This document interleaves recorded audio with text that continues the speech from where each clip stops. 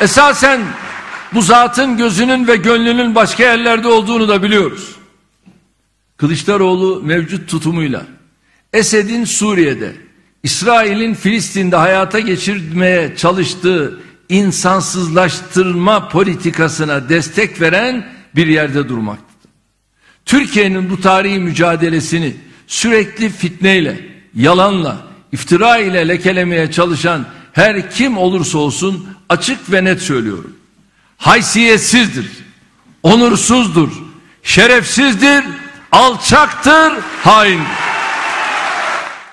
Bu kişi kendi evladında, kendi çocuklarına bütün fonları oluşturup çocuklarının zenginleşmesine ve telefonlarda paraları sıfırlattığı çocuklarına bir tanesine bedelli, diğerine de çürük raporu alıp milletin çocukları askere gidip şehit düşüp anaların bağrı yanarken konuşan o şehide kelle diyen kişi haysiyetsiz kişidir. Onursuz kişidir, şerefsiz kişidir.